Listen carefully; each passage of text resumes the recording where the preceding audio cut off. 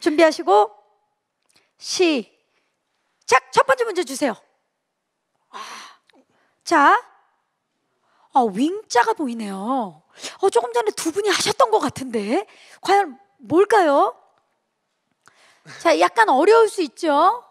아, 조알람이 무슨 표시가 되죠? 하트 하트. 예. 자, 사랑이죠, 그게. 자, 힌트 드릴게요. 사랑이 제일 먼저 옵니다. 사랑해 어, 좋아요. 마, 지금 거의 가고 있어요. 카람 씨. 사랑해. 사람 자, 아시는 분은 본인 이름을 외쳐 주세요. 송강. 고가 어, 어디 송강이? 가져갑니다. 사랑해까지는 여기서 했는데. 송강 씨? 사랑의 총알 쓰고 윙크 어? 아, 맞아요?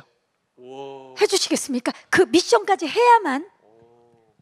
알겠습니다. 어 사랑의 서서- 총알 쓰고 윙크. 어, 김소연 씨. 어, 이런 부분이 있었군요. 자, 송강 씨. 자, 앞을 보시고.